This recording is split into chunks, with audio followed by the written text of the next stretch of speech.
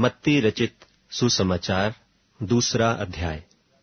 हेरोदेस राजा के दिनों में, जब यहूदिया के बैतलहम में यीशु का जन्म हुआ तो देखो पूर्व से कई ज्योतिषी यरूशलेम में आकर पूछने लगे कि यहूदियों का राजा जिसका जन्म हुआ है, कहाँ है?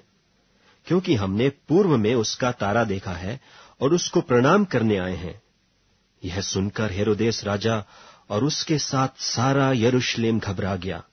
और उसने लोगों के सब महायाजकों और शास्त्रियों को इकट्ठे करके उनसे पूछा कि मसीह का जन्म कहाँ होना चाहिए। उन्होंने उससे कहा, यहूदिया के बैतलहम में, क्योंकि भविष्य वक्ता के द्वारा यूँ लिखा गया है कि हे बैतलहम, जो यहूदा के देश में है, तू किसी रीति से यहूदा के अधिकारियों में सबसे छोटा नहीं, क्योंकि तुझ में से एक अधिपति निकलेगा।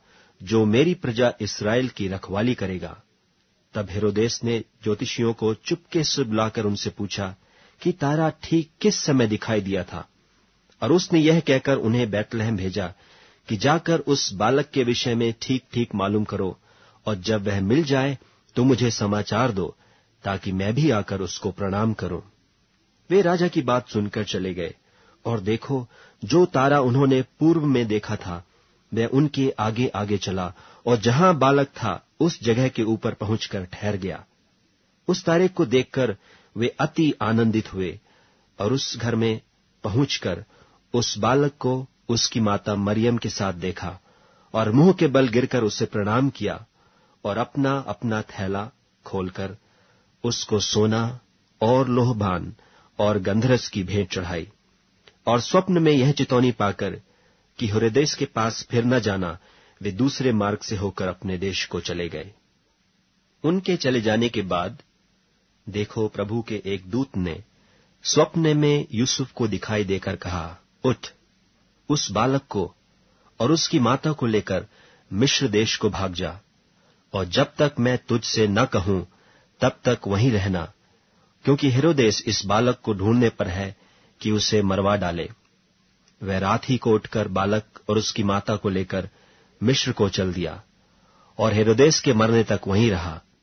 इसलिए कि वह वचन जो प्रभु ने भविष्यवक्ता के द्वारा कहा था कि मैंने अपने पुत्र को मिश्र से बुलाया, पूरा हो।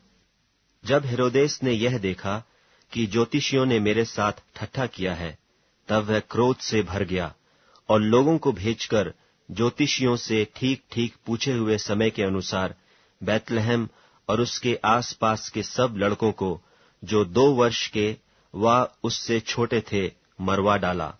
तब जो वचन यर्मिया भविष्यवक्ता के द्वारा कहा गया था, वह पूरा हुआ, कि रामाह में एक करुण नाद सुनाई दिया। रोना और बड़ा विलाप। राहेल अपने बालकों के लिए रो रही थी और शांत होना न चाहती थी, क्योंकि वे हैं नहीं। हेरोदेस के मरने के बाद देखो प्रभु के दूत ने मिश्र में यूसुफ को स्वप्न में दिखाई देकर कहा कि उठ, बालक और उसकी माता को लेकर इसराइल के देश में चला जा, क्योंकि जो बालक के प्राण लेना चाहते थे, वे मर गए। वह उठा और बालक और उसकी माता को साथ लेकर इसराइल के देश में आया।